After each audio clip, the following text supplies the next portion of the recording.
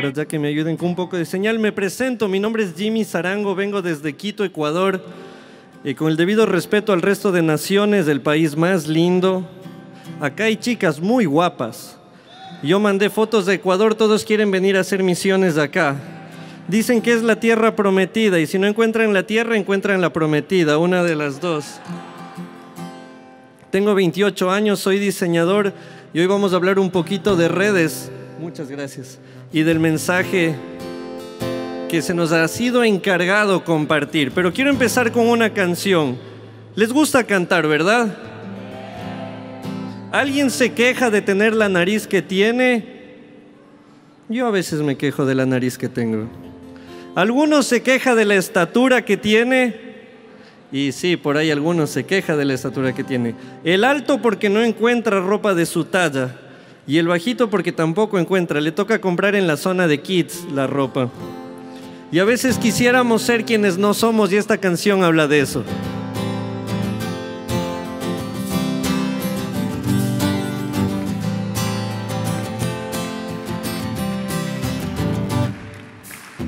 A veces quisiera ser Cristiano Ronaldo, no, mejor Salvador Cabañas, y tener muchos autos y una casa con vista al mar. A veces quisiera ser muy famoso. Selfies chicas, besitos por aquí y por allá.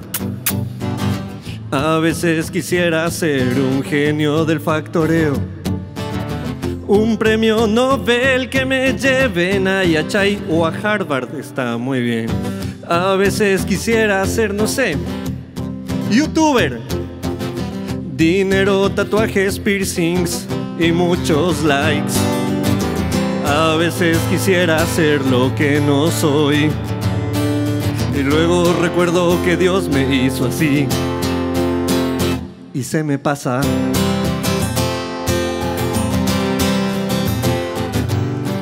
A veces quisiera ser político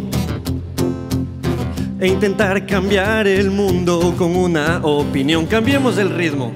A veces quisiera ser un tipo con mucho flow. Yo, yo, si te pide reggaetón, dale un libro y educación. A veces quisiera ser lo que no soy. Y luego recuerdo que Dios me hizo así. Juntos y se me pasa.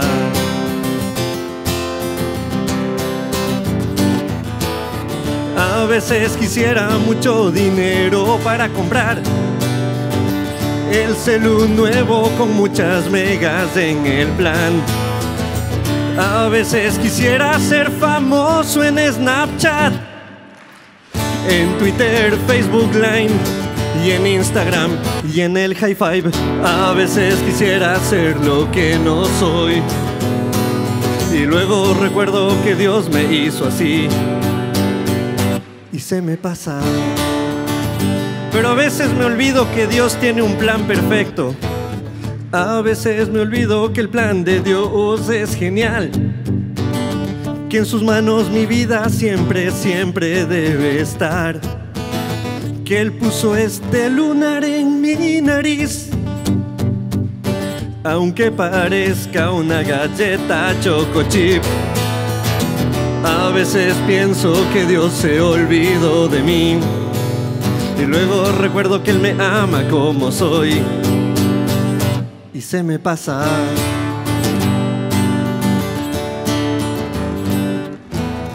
A veces te preocupas tanto y te olvidas que no necesitas nada más, Él siempre te amará.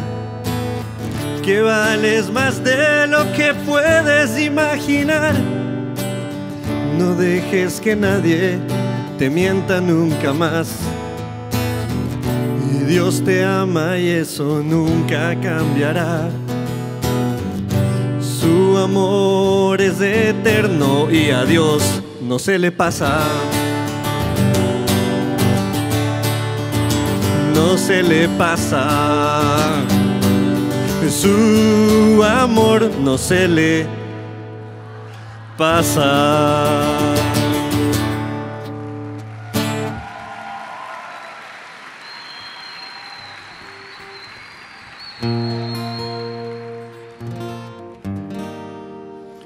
Bien. ¿Quiénes tienen WhatsApp aquí? Amén, dicen. Dicen amén para cualquier cosa ahora. ¿Cuántos tienen WhatsApp aquí? Eh, así nomás, está bien. Yo, sí. ¿Cuántos tienen Twitter? Instagram. No digo hi-fi porque es una falta de respeto al resto de redes sociales. ¿Cuántos se han enamorado por likes? Medio amén. ¿Cuántos se han enamorado por emojis en el WhatsApp? Hola preciosa, que el Señor te bendiga, muac, muac. Querida princesa del Señor, te vi el domingo en el culto y quería decirte que estás como la voluntad de Dios. Buena, agradable y perfecta. Y se enamoran ahí. Y se enamoran. Pero no debería ser así.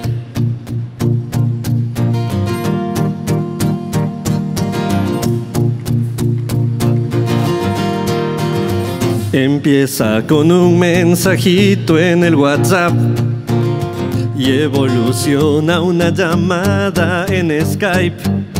¿Quién lo diría? El amor nos llega con un like. Busca su nombre en Facebook, Twitter e Instagram y averiguas cómo crear un hashtag. Hashtag tú y yo sirviéndole a Dios desde hoy para toda la eternidad. No sé, piénsalo, ¿quién lo diría? El amor nos llega con un like. Pero las cosas siempre se ponen feas. Y se pelean, se bloquean, cambian su foto de perfil. Cambias tu nombre en Facebook para que sufra por ti. Eliminas a sus amigos, no, no, no quieres saber ya más de la persona que tu vida vino a complicar. Y es que el amor no es un misterio por resolver, es caminar con la persona que te ayuda a crecer, es mirar todo oscuro y oír, bien es que el amor no es un misterio por resolver, es ceder para que el otro esté muy bien, es mirar todo oscuro y oír, todo va a estar bien. Pero como les rompieron el corazón por ahí, dicen, yo no nací para amar, nadie nació para mí. Y piensas, esta historia no quiero repetir Buscas excusas, piensas todos me van a herir. ¿Quién lo diría? Nos escondemos en lugar de amar. Y te olvidas que el pasado quedó atrás. Y el futuro acompañado se disfruta más. ¿Quién lo diría? Jóvenes vale la pena esperar. Porque un día va a llegar y te asustas, te emocionas, no sabes qué decir. Y quieres decir te quiero y que te diga, siento lo mismo por ti. Paso a paso puedes construir una relación.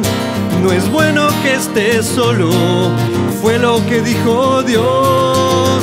Y es que el amor no es un misterio por resolver, es caminar con la persona que te ayuda a crecer, es mirar todo oscuro y oír y todo va a estar bien. Es que el amor no es un misterio por resolver, es ceder para que el otro esté muy bien es abrir el corazón, dar la galleta con cremita, el último slice de pizza y ayudar a limpiar. Es entregar, es entregar. todo tu amor.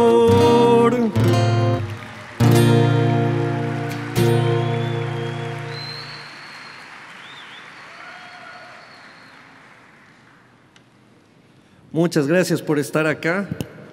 Son arriesgados al venir. ¿Cuántos me conocían antes? Siempre pasa lo mismo. Llego a un lugar, no saben quién es el Jimmy. Me piden selfies, no saben quién soy. Pero el Señor tiene un lugar preparado para esa gente. Quiero presentarme, ahí está Jimmy Zarango. Qué guapo que eres.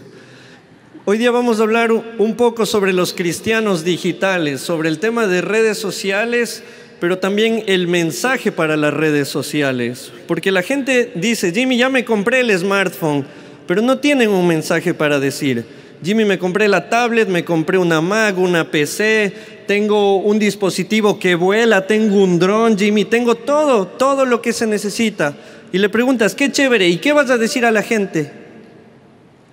Y no tienen algo para decir. Y hoy día vamos a hablar un poco de eso. El hashtag oficial es Congreso del Siglo 2016, pero yo le sumo ahí por si acaso alguien quiere nombrarlo, hashtag tu fe más allá de un like porque es muy fácil darle likes a las páginas que dicen, dale like si amas a Dios. Y todos le damos like así, pero no llevamos luz a nadie dando likes así. Quiero hacer una pequeña pausa comercial. Para quienes estén interesados, eh, traje la primera epístola de Jimmy Zarango a los cristianos digitales, porque no quieren incluirla en la Biblia, entonces tuve que imprimirla aparte. Si alguien de ustedes está interesado, las voy a tener, pueden acercarse personalmente.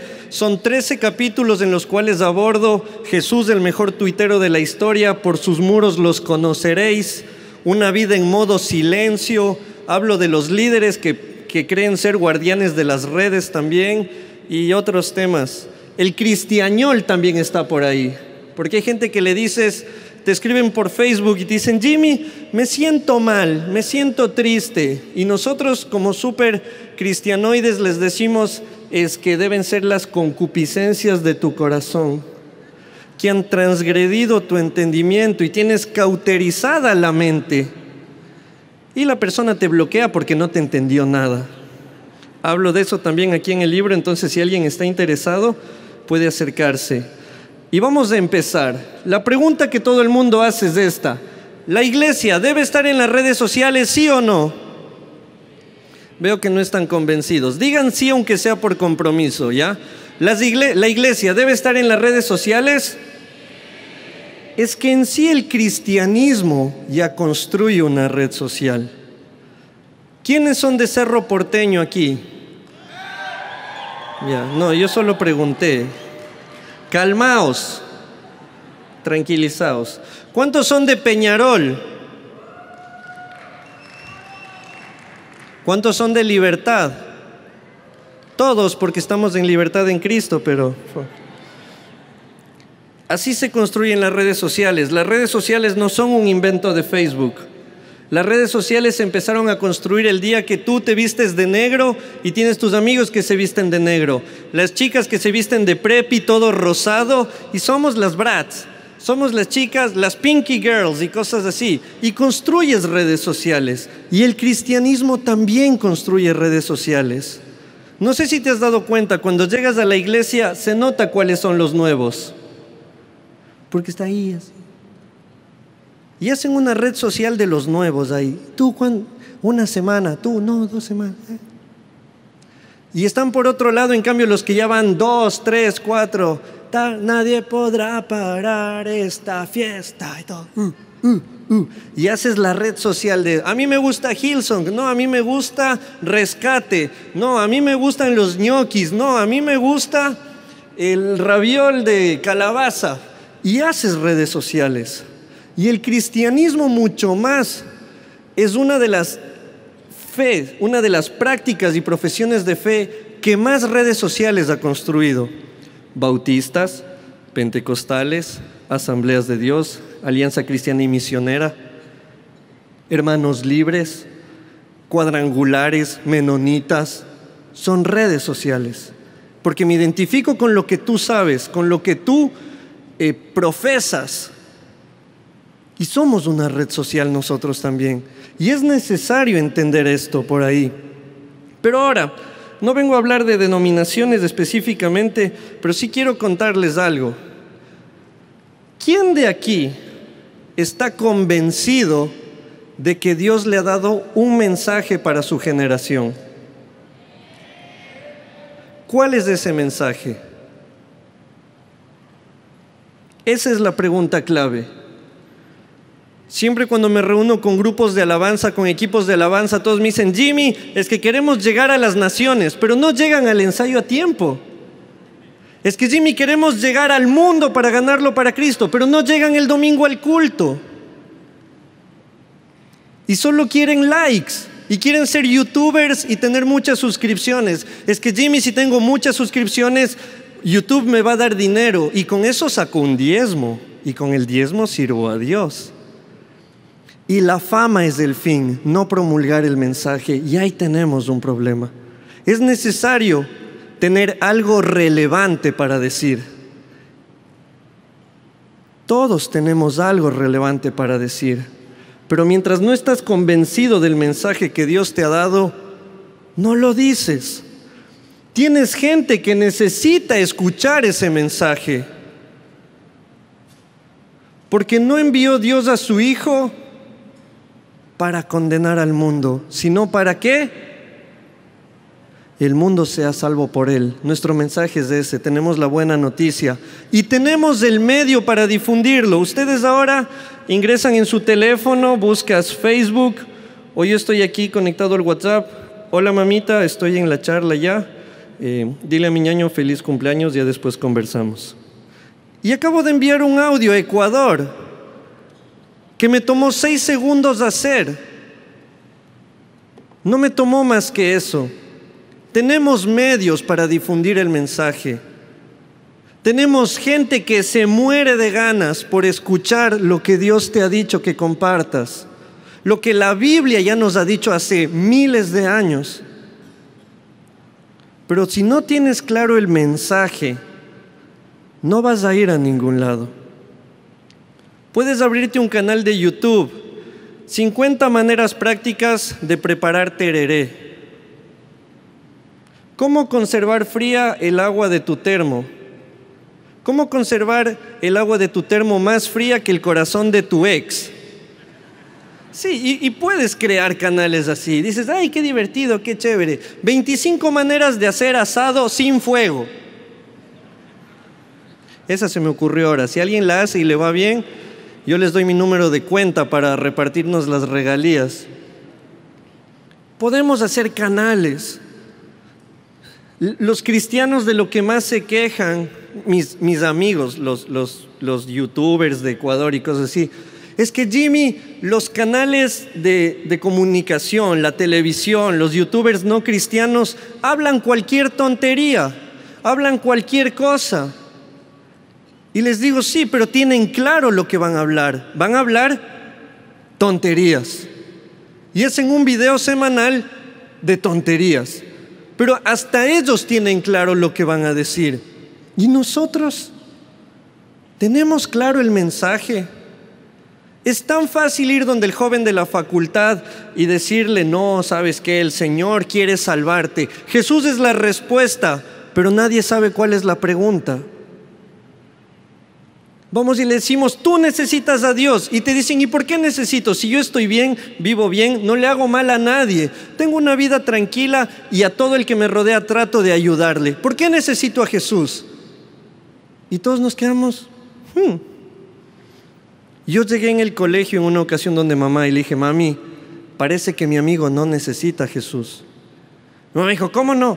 Le dije, sí, porque él le va bien, no es drogadicto, no es alcohólico, no es mujeriego, hace cosas buenas. Mamá, creo que el mensaje de Jesús no es para todos. Mientras tú no estás convencido que ese mensaje que Dios te ha dado es relevante, no vas a ir a ningún lado. ¿Cuál es la importancia de las redes y por qué he estado yo aquí desde hace una semana reuniéndome con equipos, con jóvenes, con líderes, con pastores? Porque ¿quiénes predican en sus iglesias? Levanten la mano, por favor. ¿Ya? Muy bien. ¿Quiénes predican en sus células? Ya, muy bien. ¿Quiénes predican en el día a día? Ahí deberíamos alzar la mano todos, pero les perdono por hoy, está bien. Porque todos deberíamos estar hablando de Jesús con nuestra vida y cuando es necesario con palabras.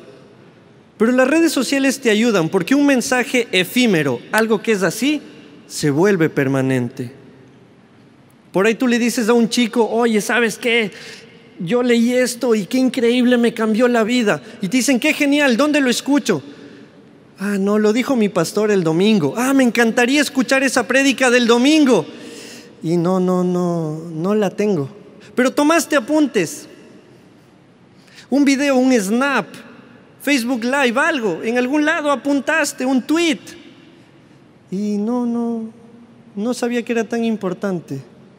Un mensaje efímero se convierte en permanente cuando tú utilizas las redes sociales, porque tienes algo que a mí me encanta. Repitan conmigo, link. Qué bien. Brother, ¿sabes que me gusta una chica? Pásame el link para verle. Pana, escuché una canción espectacular, una canción re genial. Chere, pásame él, el link. Loco, estoy leyendo un versículo de la Biblia que me cambió la, vida. Genial, pásame él, link. Todos son links. Y si lo que tú tienes para decir está en un link, alcanza a mucha más gente de la que te imaginas. Yo tenía un artículo que lo escribí sobre relaciones sentimentales hace ya dos, dos años quizá, dos o tres años. Y lo tenía publicado en mi blog. Yo tengo un blog, es, mi dirección es jimmysarango.com y tenía por ahí un par de personas que lo vieron. Y lo mandé a México, a José 19, que quizá alguien sigue la página de José 19 y si no la pueden buscar. Y le envío y le digo, Josh, te comparto esto, por ahí te sirve. Publicó, no era ni 24 horas y teníamos más de 25 mil visitas. Solo en el artículo. Y Jimmy no es Lucas Leis. Y Jimmy no es Dante Gebel. Y Jimmy no es Marcos Witt. Jimmy es Jimmy. La gente veía el texto y decía, wow.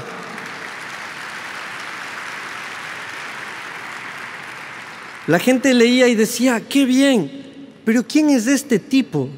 No sé, lo importante era el contenido. Porque si no, me hago una foto en, en cuero, sin nada y me hago famoso así. Pero es que la idea no es hacerte famoso tú, es compartir el mensaje. Y yo no entiendo cómo un link nuevamente alcanzó a tanta gente, pero Dios sabe hacerlo. ¿Cuándo tienes algo claro para decir? ¿Un mensaje permanente tiene mayor? Otra, leamos con esa voz de Paraguay, así. Uh. Un mensaje permanente tiene mayor alcance, exacto. Quizá aquí hago un paréntesis. Por ahí alguien dice, Jimmy, pero yo no sé nada de redes, yo no sé nada de la computadora ni, ni, ni de estas cosas. Tranquilo, todos tienen alguien en la iglesia que sabe. Es el chico el que anda todo el día. Ese que le dices, loco, ven. Sí, pastor, ¿en qué le ayudo? No, sabes que no me... Ah, no, tranquilo, pastor. Listo, ya está, tiene Wi-Fi, Bluetooth, Internet 4G y le descargué la Reina Valera 1909. Dice, wow. Si tú tienes un mensaje pero no sabes lo técnico, hay alguien que te puede ayudar en lo técnico en tu iglesia. Trabajé en Radio HCJB, la radio número uno cristiana eh, de, de Ecuador. Este año cumplimos 85 años como radio. Estamos jovencitos todos. Bueno, no todos. Yo estoy joven por lo menos. Y estoy en HCJB. Y alguien se la jugó por mí ahí. Porque HCJB no tenía medios digitales. Y un día abre una vacante y me dicen, ¿quieres ser parte del equipo? Y les digo, ¿qué hay que hacer? Y ellos dicen, no tenemos idea de lo que hay que hacer, pero confiamos en que tú sepas. Y yo no sabía. Yo tenía un poco de idea, pero alguien se la jugó por mí y me dio la confianza para decir, hagamos esto, hagamos esto otro, deberíamos compartir estas imágenes, hagamos un análisis de nuestro público, qué es lo que la gente quiere, hagamos encuestas y encuestas de papel. No, no, no es que nos compraron iPhones a todos y hacer la encuestita en Google Drive. Papel en mano y con lapicera. Nosotros decimos de esfero en Ecuador. ¿Qué contenidos le gusta, señora? Ay, a mí me encanta cuando hablan de la familia. Familia. ¿De qué otro tema? Ay, de cómo criar a los hijos. Sí, esos temas que les gustan a las, a las mamás, ¿no? Así. ¿Cómo coser en punto de cruz? íbamos anotando, íbamos anotando y luego tabulando y viendo cuál es el tema más relevante para la gente. Hasta que un día empezamos a dar pasos firmes. Una página de 9 mil fans se convirtió en una página de 84 mil fans, sin dinero, sin meter plata ahí, solo gestionando, haciendo contenidos. Teníamos un líder allá que es pastor y es director en uno de los directores de la radio, y le dije, Duval, y si algún día me ve por aquí, amigo Duval, te mando un abrazo inmenso. Pero Duval, lo que tú me estás diciendo en la radio lo necesito escrito. Porque tu programa se acaba y la gente empieza a llamar, ¿y dónde encuentro esto? ¿Y cómo veo esto? ¿Y dónde oigo esto? ¿Y dónde leo esto? Y él estaba un poco escéptico. Ah, pero me toma tiempo escribir. Y como decían el otro día uno de los expositores, es que le voy a coartar la libertad al Espíritu Santo. Le decía, escríbeme dos párrafos, cinco ideas, cinco puntos, cinco principios. Y empezó, poco, poco. Un día de repente ingresa y ve que un artículo de él tiene 900 visitas, mil, tres mil, y se reenganchó. Porque un mensaje que lo tienes permanente en un lugar tiene un mayor alcance. ¿Quiénes tienen su Biblia? Ya. Su Biblia es un soporte que convierte un mensaje que era efímero en un mensaje permanente. El Sermón del Monte, ¿cuánto creen que duró? ¿Y cómo lo conocemos? Porque lo tenemos escrito. Alguien se dio el tiempo de hacer un mensaje efímero en un mensaje permanente para que tenga mayor alcance. Y es el libro más vendido del mundo. ¿Estamos hasta ahí? Vamos bien. Quiero leerles mi versión de Primera de Corintios 13. Ojalá nadie se me vaya a enojar ya. Si yo hablase por el teléfono más reciente y predicara por Facebook Live con la tablet más inteligente y no tengo amor, vengo a ser como un recordatorio que se ignora o un audio de WhatsApp que retiñe. Y si tuviese profecía, y la publicara en Twitter y entendiese todos los misterios del nuevo sistema operativo, y si tuviese toda la fe de tal manera que activase un plan de datos y no tengo amor, nada soy. Y si repartiese todos mis megas para dar de chatear a mis amigos, y si entregase mi teléfono para ser ofrendado y no tengo amor, de nada me sirve. Esto Pablo le dice a la gente de Corinto, versión siglo XXI. Eh, sí, porque van a Jimmy, yo no encuentro eso. es otra versión, es una traducción más nueva que estoy haciendo yo ahí. No creo que me deje vender las sociedades bíblicas, pero como que está buena, ¿no? El mensaje no ha cambiado. Los dispositivos cambian, los soportes cambian. Opa. Oh, oh, ya. Pero hay algo que hasta ahora no cambia y es el mensaje. El mensaje es uno solo, las buenas nuevas. Es eso lo que nos mandaron a anunciar, las buenas nuevas. Les voy a hacer repetir como en la escuelita, pero es porque es un ejercicio didáctico.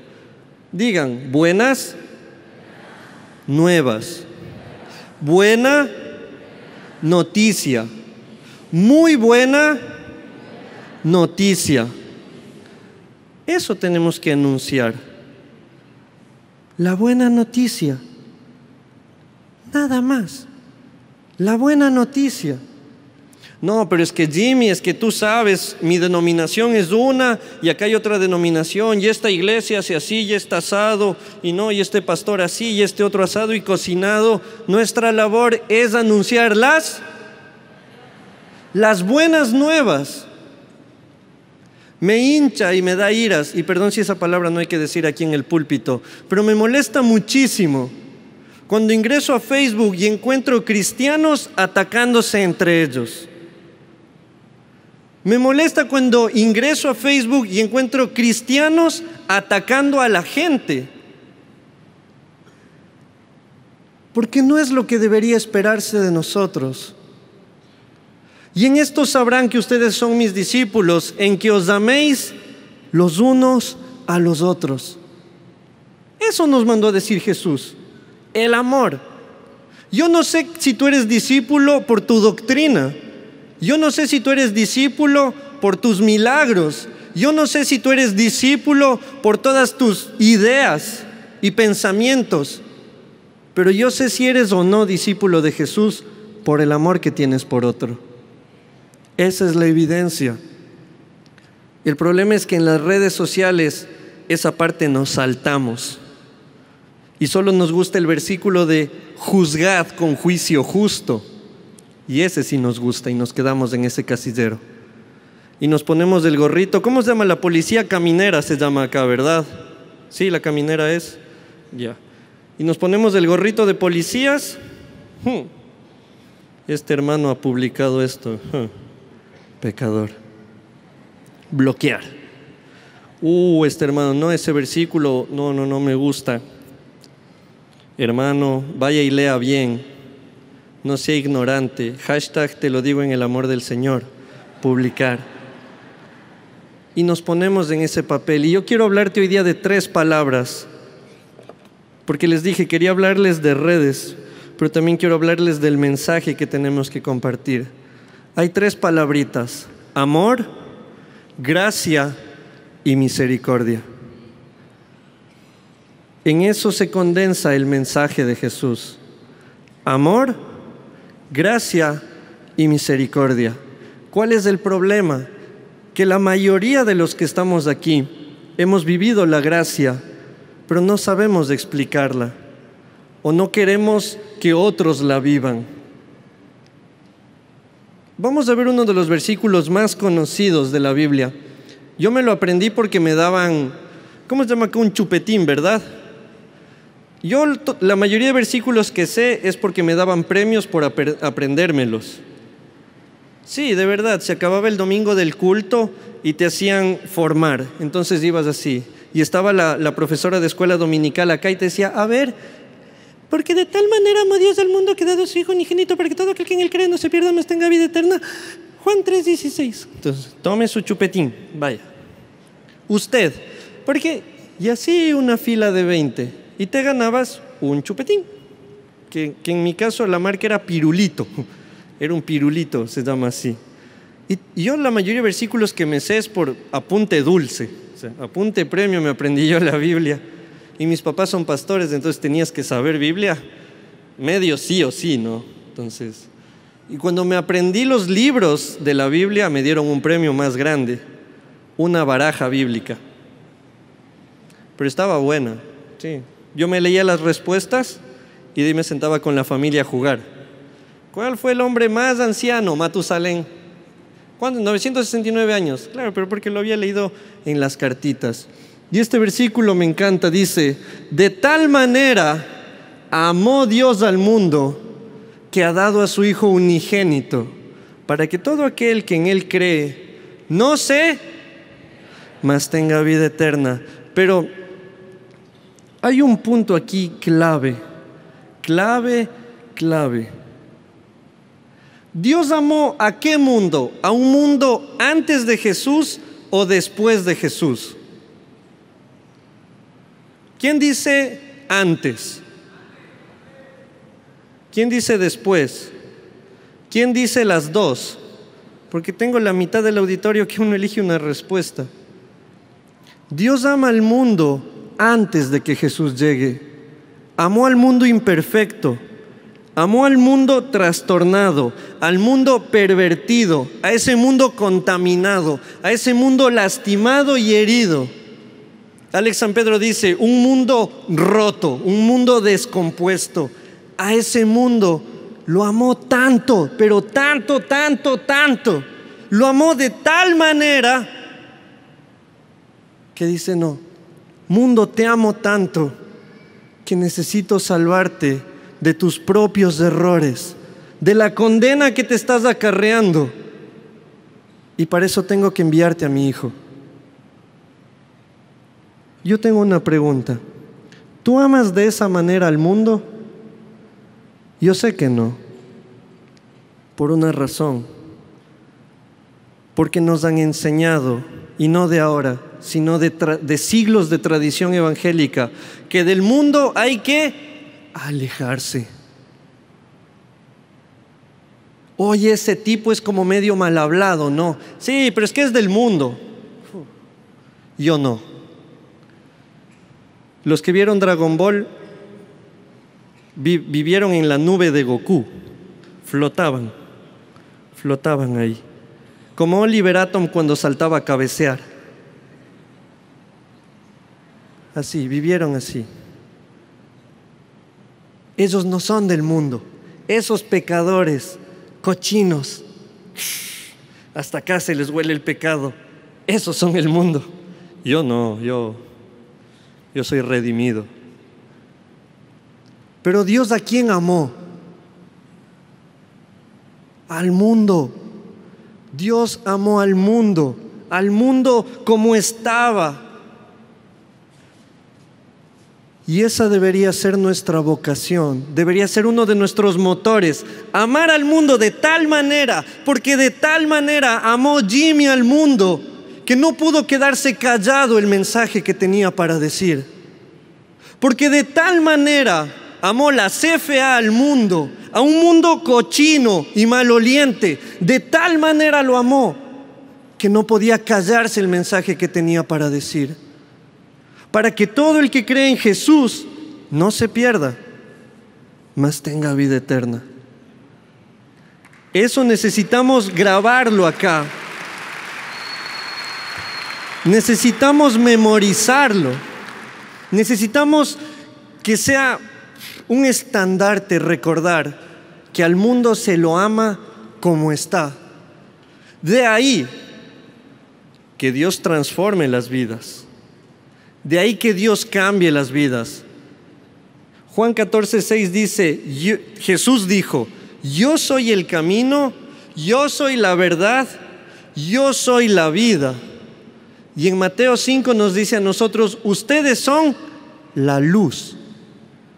Tú no eres el camino, tú no eres la verdad, tú no eres la vida, tú no eres el Espíritu Santo, tú eres la luz.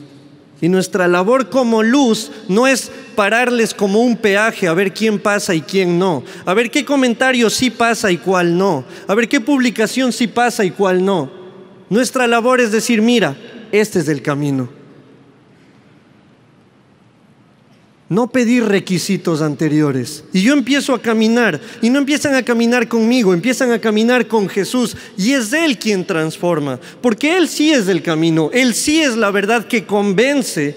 Y Él es la vida para esa gente que está muerta. Nosotros somos la luz. Y eso necesitamos hacer en Facebook, en Twitter, a través de nuestro WhatsApp pero hay una palabra en ese versículo que es para que todo aquel que en él cree no se pierda. Y la gente se pierde. No, no, uno antes, por favor. Ahora, muy bien. La gente se pierde cuando le damos la dirección equivocada. Sé que alguien de acá de Asunción el otro día en el Facebook publicó y dijo, si no sabes cuál es la dirección, no le aconsejes a alguien, porque ella había dicho, ¿y cómo llego a tal lugar? Y le dijeron, no, toma este colectivo, y no era ese. Y a veces nosotros somos así también en las redes. Alguien publica alguno de esos temas, papa caliente, y nosotros enseguida le caemos, no, pero la Biblia dice que eso es abominación y eso es pecado, y arrepiéntete porque si no te vas a ir al infierno.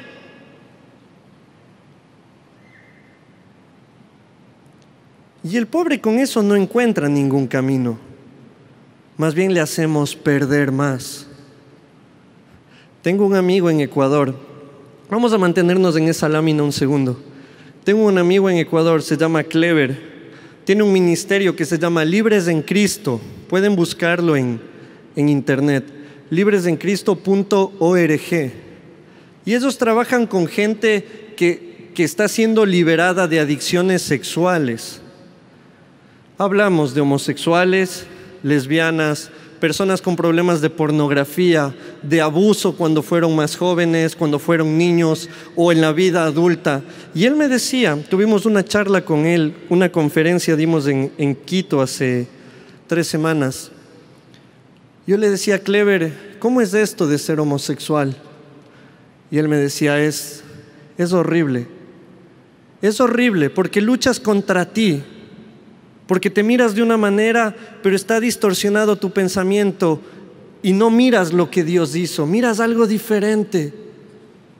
Y aparte sales a la calle y la gente te critica y te señala y cuando pasas, hmm, es como cuando hay un mal olor, ¿no?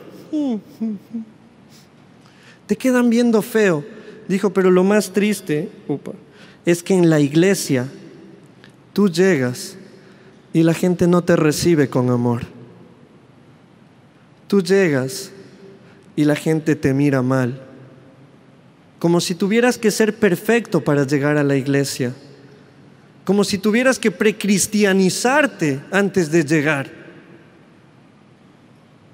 Y te duele, decía, porque él ahora es cristiano y sirve liberando a otros. Y dice, porque yo ahora entiendo el mensaje y comprendo que el mensaje de Jesús es de transformación pero cada que yo llegaba a la iglesia o me conectaba al Facebook, todos mis amigos lo que publicaban era, el que se acuesta hombre con hombre es abominación a Jehová. Y sí, yo lo entiendo porque es un versículo, me decía él. Pero nadie me decía, hay esperanza, hay una oportunidad. Todos publican que esto es pecado, que esto es pecado, que esto está mal, que te vas a ir al infierno. Y sí, pero si en la iglesia no te aceptan, entonces prefieres irte al infierno. Ahí es donde tenemos problemas. Es muy fácil defender cosas desde nuestra teoría, pero cuando hablas con la persona que lo ha vivido, te das cuenta que lo que buscan es una salida, esperanza. Como les dije hace un momento, las buenas nuevas. Eso quieren saber ellos. ¿Cada cuánto utilizas tus redes sociales para dar esperanza a alguien? Porque hay gente que falta al culto del domingo y enseguida nos conectamos. Che, Jimmy, vi que no llegaste, ¿qué anda pasando? Te me, andas enfriando, ¿no? Sí, no te olvides, no dejen de congregarse como muchos tienen por costumbre. Y tú le dices, pana, estoy enfermo. No tenía para el pasaje del colectivo. Ah, perdón, pero, pero ¿no estarás en pecado que por eso no tienes para el colectivo? Y tenemos líos ahí, porque no estamos dando esperanza, más parecemos un peaje a veces, a ver quién pasa y a ver quién no. Y esa no es nuestra labor.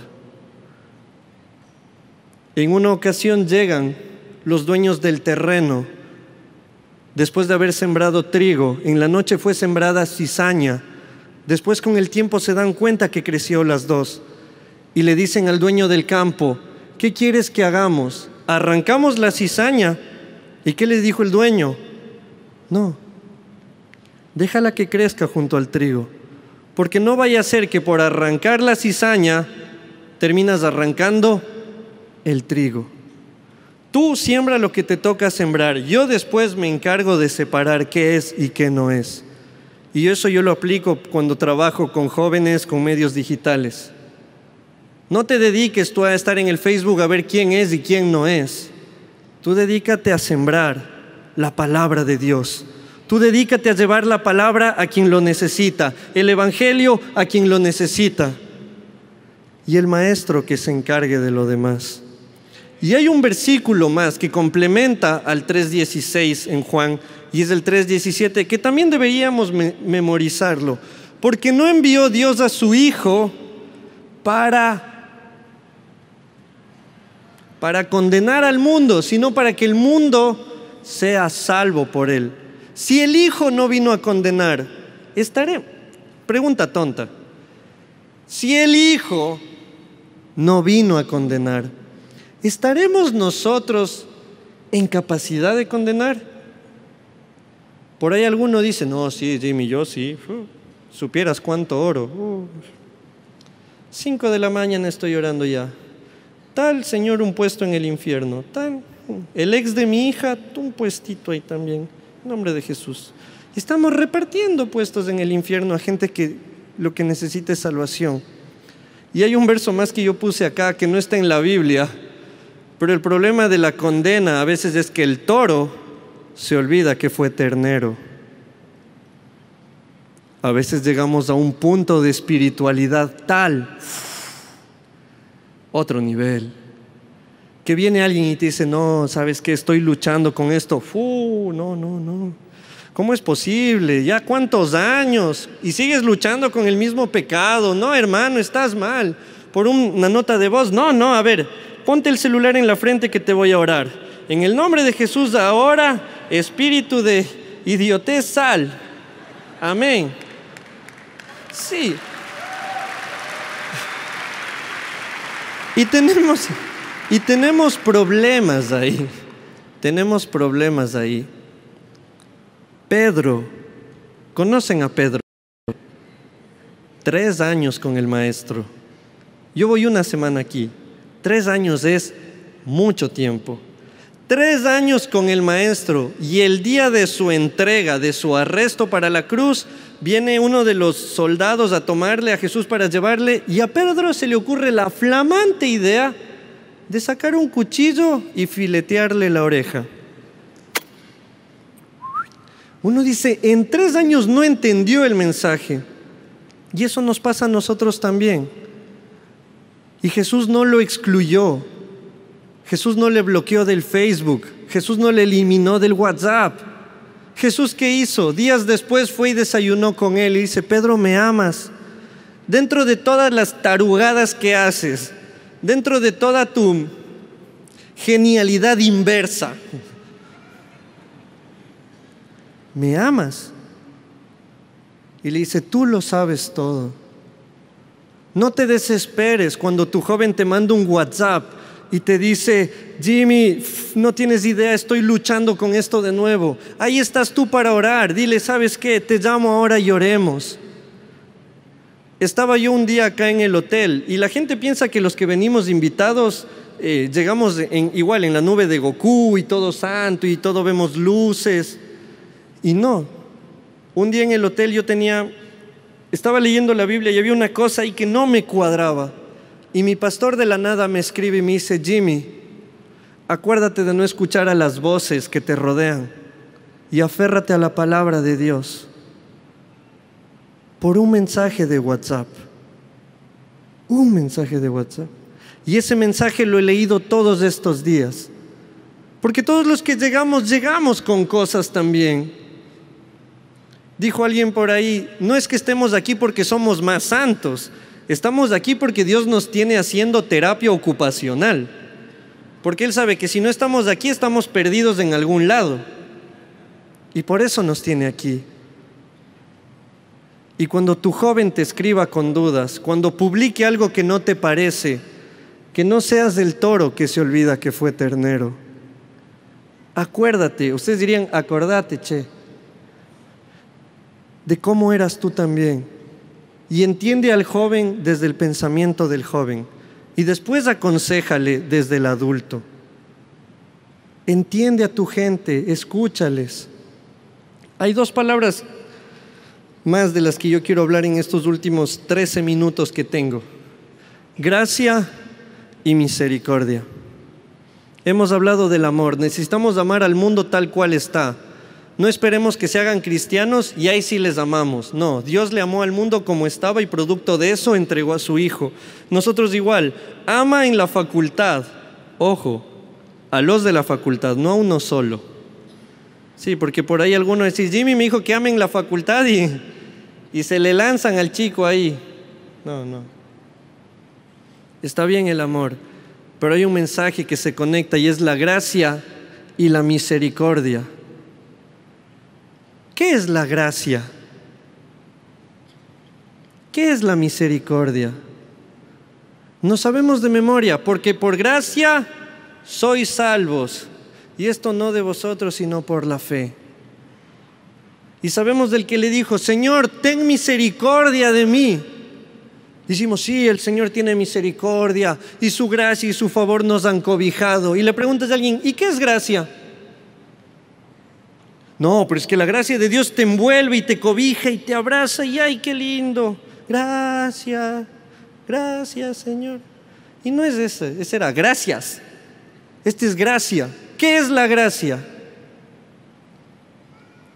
Y después leemos el de la misericordia y es lo mismo una chica de años en el Evangelio, pero años así. Sí, como algunos de los que veo por acá, así. Un montón de años, me escribe hace unos días por el WhatsApp, yo estaba en un viaje allá en Ecuador. Me dice, Jimmy, tengo una pregunta. ¿Qué es misericordia? Vas 20 años en la iglesia. Sabes que el Señor en su misericordia te salvó pero nunca te preguntaste qué es misericordia. Y es que esto es lo que la gente necesita, gracia y misericordia. Y yo lo resumí en una frase muy sencilla. Lo que merecía, no lo recibí. Y lo que no merecía, tú Dios me lo diste. Eso es gracia y misericordia. En su misericordia, Él no te dio lo que tú sí merecías, lo que yo merecía. Por misericordia dice, no te voy a dar aunque te lo mereces. El castigo, el dolor de pagar por tus errores. En el hinduismo es el karma, todo lo que haces se te devuelve. Y Jesús lo dijo antes. Y lo que no merecía, tú me lo diste. Eso es gracia. Y mi gente en las calles, tu gente en las calles, necesita saber que hay gracia. Una de las cosas que a la gente más le duele cuando llega a la iglesia es que Jimmy, tú no sabes lo que he hecho. Es que Jimmy, tú no sabes todo el daño que ocasioné. Tú no sabes las cosas que yo viví. Y entonces ahí entra la gracia y le dices, el Señor te ama tal cual eres es un regalo inmerecido, es gracia. Pero y Jimmy, ¿qué de las consecuencias? Hay consecuencias que se pagan sí o sí.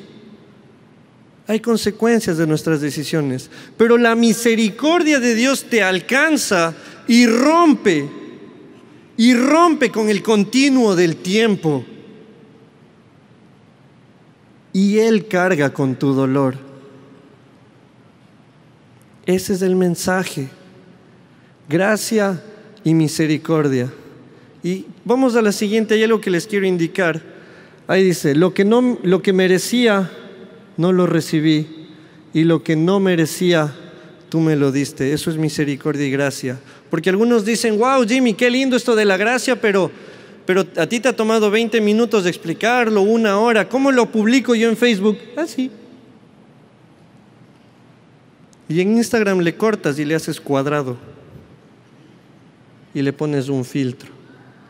Y le pones hashtag el Señor te ama, hashtag yo te quiero como amigo. Le pones alguna cosa.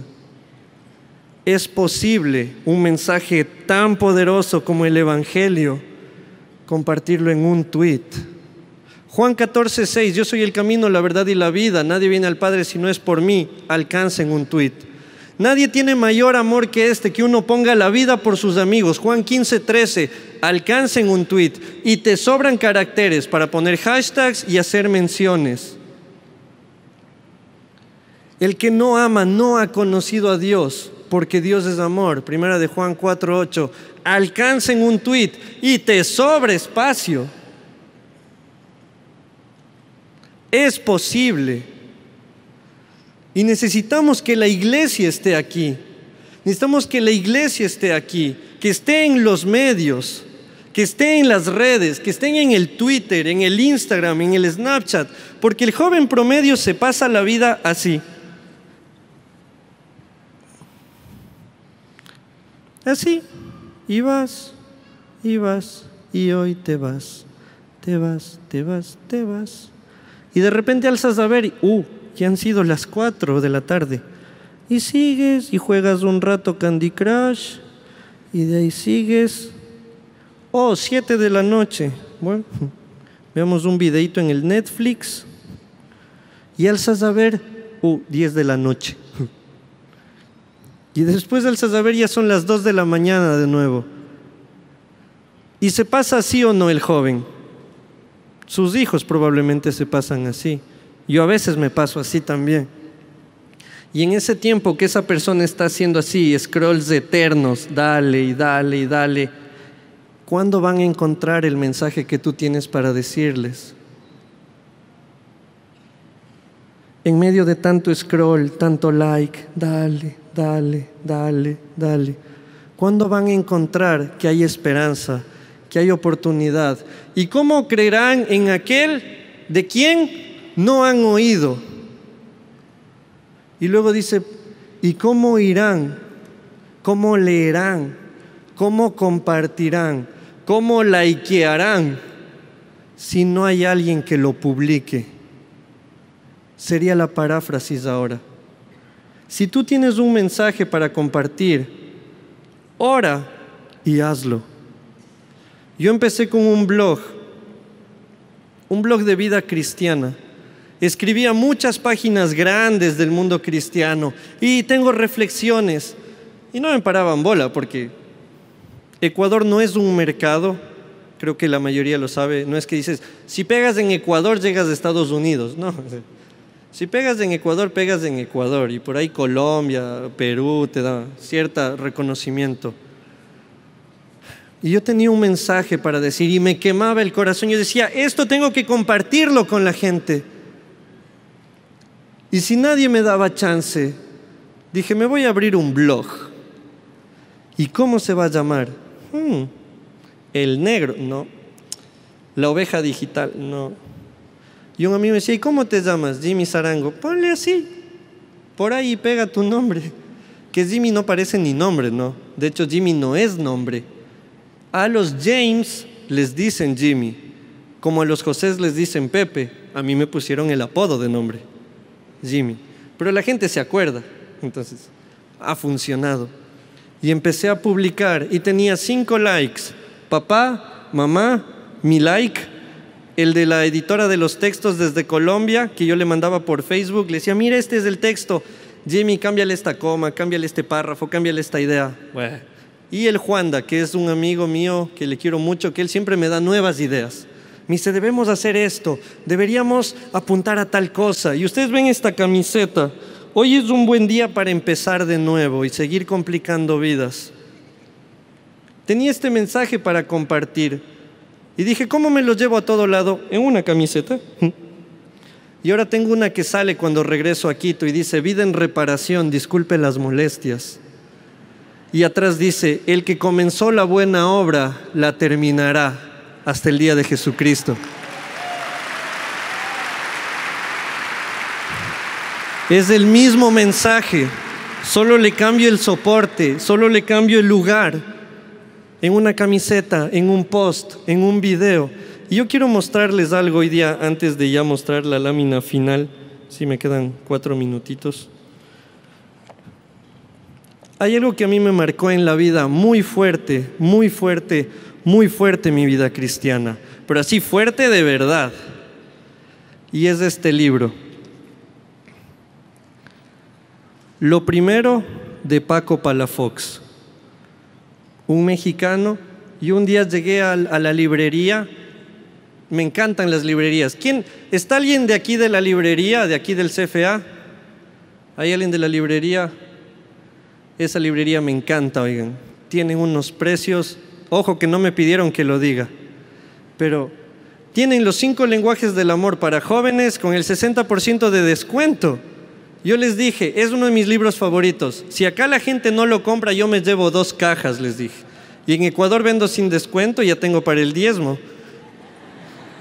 Yo llegué a la librería y entre tanto libro de esos formales, me acuerdo el libro del, doctor Dobson, creo que es lo de Stanley, cuando lo que Dios hace no tiene sentido, libros ahí de, de Luis, Misión Mundial 1, 2 y 3, de hermenéutica bíblica, comentario del Nuevo Testamento. Entre tantos de estos libros, asoma este, ¿se puede enfocar? Sí.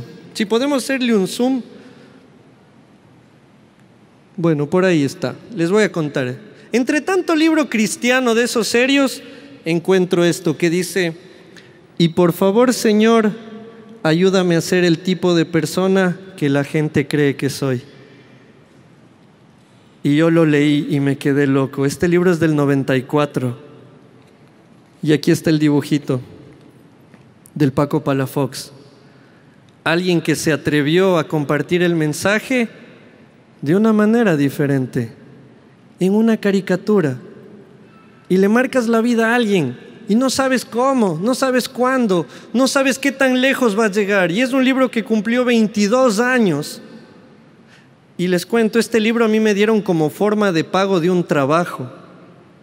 Porque hice un trabajo para alguien en Ecuador de diseño y este libro a mí se me perdió hace unos años. Me dijeron, Jimmy, el pago que te vamos a dar ni te imaginas. Y me dieron el libro. Yo les doy el vuelto. es para mí una reliquia porque me cambió la vida. Y por ahí tú tienes un mensaje que le va a cambiar la vida a alguien. Por ahí hay un tweet, por ahí hay un video, por ahí hay una prédica que se va a compartir en la página web de tu iglesia. Por ahí hay un audio de WhatsApp que alguien se va a atrever a grabarlo y va a cambiar a su generación y va a cambiar a su gente y va a desafiar a otros a movilizarse. Y del blog que les dije que empecé con los cinco likes del Juan Dalapau, papá, mamá y el mío, hace unos meses superé las 100 mil visitas. Pregúntenme cómo. No sé. Solo sé que Dios utiliza al que se atreve. Y si tú tienes un mensaje claro para decir, Él te utiliza. Vamos con la última lámina. Esto dice, y me seréis testigos en Jerusalén, en Judea, en Samaria, en Facebook, Twitter, Instagram, Snapchat y hasta lo último de la tierra. Esa es nuestra misión.